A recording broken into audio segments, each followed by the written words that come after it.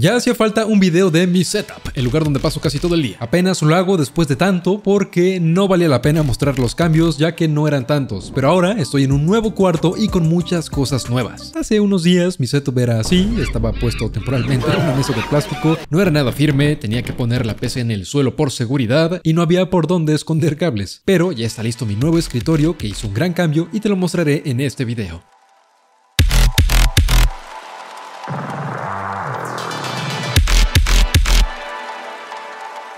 Mira, si no quieres verte tan ridículo como yo con mi PC con el Windows no activado, recuerda que existe GDG Mall. Hay claves de activación originales, legales y baratas, como la de Windows 10 Pro OM, que por el regreso a clases está en promoción y usando mi código de descuento YPLW te quedará en solo 16 dólares. Recomendado pagar con PayPal. Con esa ínfima cantidad ya puedes activar tu Windows e incluso actualizarlo a Windows 11. Es similar con el Office 2016. Por la promoción, usando mi código YPLW, quedará en solo 27 dólares, solo 27 dólares por fin poder usar libre y legal el Office completo. Por esta promoción, Back to School, también puedes comprar periféricos en GBG Mall y con 15% de descuento. Yo te dejo todo en la descripción. Gracias GBG Mall y personas que ven este video por permitirme tener una vida digna. Continuamos. El setup está en la misma habitación donde duermo. Tengo esta costumbre de tener pues mi computadora justo en la habitación donde está mi cama. Dirán, oye, ¿por qué no mejor pones tu setup pues en esta habitación que tienes dedicada a un estudio de grabación? Y te pones un setup más grande, más elaborado. No es mala idea, no es mala idea de hecho, pero pues ya les dije, es solamente una costumbre. Así que simplemente me levanto todos los días, me siento, enciendo la computadora y me pongo a hacer algo. Se podría decir que tengo una adicción. Mi computadora sigue siendo la misma que la de este video. Ahora que puede estar arriba del escritorio se ve muchísimo más imponente. Mis monitores también siguen siendo los mismos que los de los últimos 40 videos de mi setup. Es que estoy muy cómodo con ellos, pero aún no he tocado el cielo. Tengo ganas de un monitor de 500 Hz, al menos de 360 da perdis. Mis periféricos son estos. Algunos dirán que no combinan y que se ven feos y baratos y desechables. Para empezar, a mí siempre me gusta mucho que haya algo que haga contraste y que dé vida. Y la parte de baratos, este es el teclado de producción más caro que he tenido. Son perfectos, tiene una larguísima duración de la batería y nunca me falla. El mouse también me gusta. Este no es gama alta, pero también es inalámbrico, de larga duración, además de que tiene su basecita de carga. Si quieres saber más de esos periféricos, pues tienen su propio video que me patrocinó la marca Dareu, puedes ir a verlo.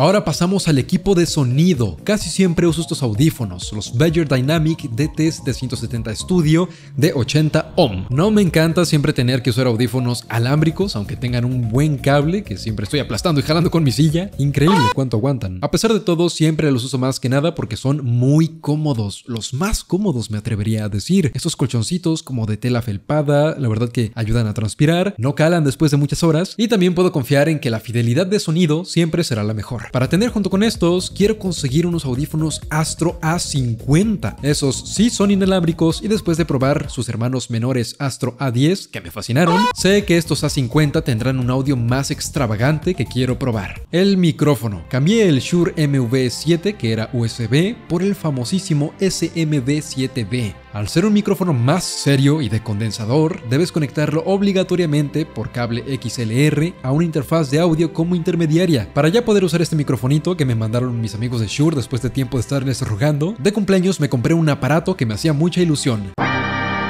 Esta es mi Gox EDR, me la recomendó mi amigo Cry, saludos. Este es el cable XLR por el que se conecta el micrófono. Y esta cosa también se conecta hacia la computadora para poder hacer un montón de cosas. Para empezar tiene lucecitas, no es totalmente RGB, pero sí se puede configurar un poco. Está motorizado en estas cosas de aquí, por eso yo le pico a silenciar y se va hasta abajo automáticamente la cosa esa. Son cuatro canales, este es el que controla el volumen del micrófono, este es el que controla pues puede ser el chat de voz, este puede ser música, este puede ser el sistema, ese es el chiste de que estén separados los canales. Y esta parte de acá es para poner efectos de sonido, yo puedo grabar efectos de sonido y reproducirlos siempre que quiera. Y puedes hacer cosas como.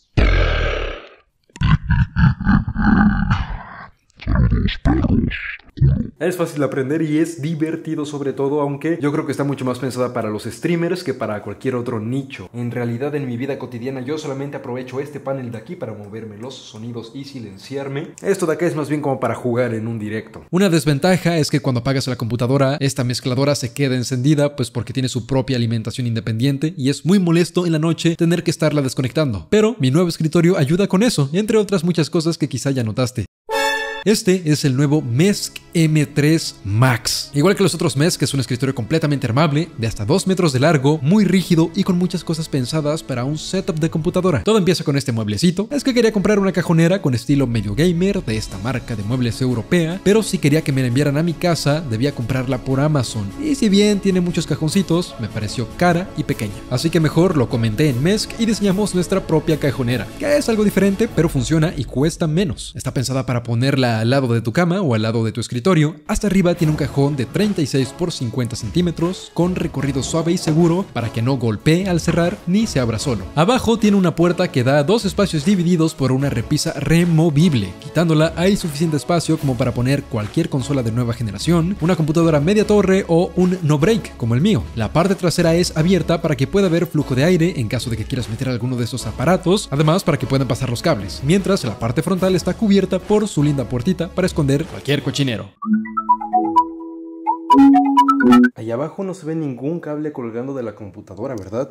Les voy a enseñar cómo es que funciona la repisa. Cables sí hay y muchos, espero que se vean. La cosa es que están escondidos. Metimos buenos materiales, correderas suaves, bisagras buenas, sistema minifix para armado fácil, y ya con todo y envío salió hasta más barata que aquella cajonerita europea. Nuestra alternativa la llamamos orgullosamente cajonera M. Junto con esta se diseñó el nuevo modelo M3 y también una posible variante más grande y ejecutiva que es el prototipo que yo tengo en mi setup. Si se hace realidad, se llamaría M3 Max, pero les comento en qué consta y por qué es un reto que exista. Tiene una cajonera en cada extremo y en el interior debe haber un espacio suficiente de un metro. Por ende, la cubierta tendrá 2 metros de largo. Para poder enviarla a todo México sin morir en el proceso, esta cubierta debe estar dividida por la mitad. Ingeniamos una forma de unir las piezas de la cubierta para que la división apenas se note. La unión se hace a través de taquetes e insertos que se juntan y por ambos lados para que no haya separación. Además, en la estructura del escritorio, la cubierta reposaría de extremo a extremo, lo que le daría soporte, firmeza y no habría flexión. Por último, en la cubierta dejamos espacios de 5 centímetros en los extremos para poder anclar soportes, como el de mi micrófono. El color de la cubierta, por cierto, es un nuevo estilo, lo llamamos Black Knight y de momento es un color exclusivo del nuevo modelo M3 porque es más ejecutivo. ¿Por qué quizá no podrá existir para el público esta variante M3 Max? Al ser enorme y tener muchas piezas, el precio y los costos de envío se van a rangos que no esperaba. Sabemos que la nueva cajonera y el nuevo M3 podrán ser competitivos en su rango de precio comparados con otras opciones de línea blanca de calidad que pueden enviarse a toda la República, pero haciendo cuentas, el M3 Max puede costar hasta 9 mil pesos y eso ya es otro nivel. Es un escritorio muy grande y ejecutivo, sí, pero no sabemos si hay suficiente gente dispuesta a pagar ese precio por algo así. Lo que haremos será intentar bajar el costo final lo más posible y leer los comentarios de este video para que nos ayuden a decidir.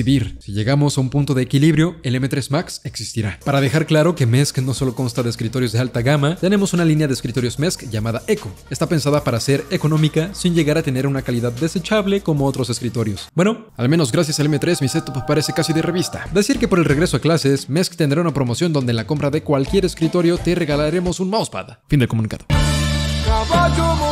Por último lado del setup, para empezar, pues hay un patiecito, una terracita, dos sillitas reclinables que compré en oferta, un asador para la carnita asada. Da un poco de miedo la altura, así que tampoco flashea demasiada confianza hacer carnita asada. Al lado de mi cama quiero poner un frigobar, un refrigeradorcito o una de esas cajoneras y arriba poner una cafetera para ni siquiera quitarme de la cama y ya estarme sirviendo un café para despertar mejor por las mañanas. Aquí es donde veo Malcolm in the Middle en la noche. ¡Coto! Y al lado tengo un simulador así muy sencillo, es una base que a pesar de ser muy pequeña y muy barata, es muy práctica y aguantadora. Y así que ahí me pego mis vicios jugando juegos de carreras. Si quieren video, pues quizá lo haga pronto. Casi se me olvida mostrarles estas lucecitas de aquí, ok, son muy chilas. Miren, es que son palos que pueden ir en la esquina o en la pared y alumbran así bien homogéneo, bien bonito. Con el controlito puedes cambiar entre varios colores, intensidad, algunos efectos. Aquí está la del otro lado, vean, tiene efectitos. Este es el RGB típico, aunque pues muy empalagoso. Se cayó el cortinero, ok, muy bonito el departamento y todo, pero puse una tela que compré para fondo de videos, para hacer pantalla verde, para hacer fondo y bueno, funciona. Jeje. Casi pido estas cosas de China cuando no era necesario, las venden en Amazon y te llega bien rápido y además están baratas. Les voy a dejar los links exactos en la descripción. Son muy sencillas, tampoco esperen la gran cosa. Es todo mi people, gracias por ver, se me cuidan, se me bañan, chao.